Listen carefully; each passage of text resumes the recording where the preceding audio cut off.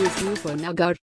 Here's everything you need to know about Bhuvneshwar Kumar's fiancée. It is midway through October and the wedding bells are ringing loud for one of the best death over bowlers in the world. Indian paver Bhuvneshwar Kumar is all set to tie a knot in roughly two weeks from now with his fiancée Nupur Nagar at Meerut. But fans aren't you curious about who actually Nupur Nagar is? Nupur Nagar is a 26-year-old girl from Ganganagar Meerut. She is the daughter of a retired police officer Yashpal Singh Yadav.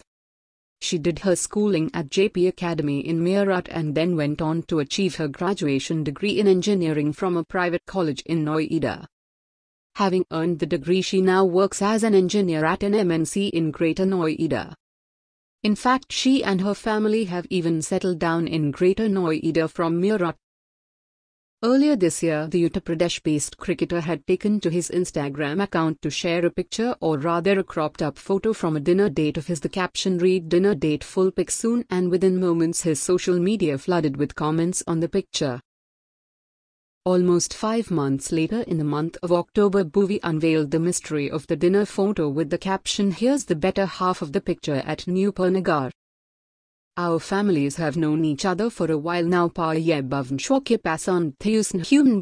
And we were happy. The girl is educated and sweet and the family is very nice too. We are now trying to see when we can have the wedding. Bhuvi is busy with back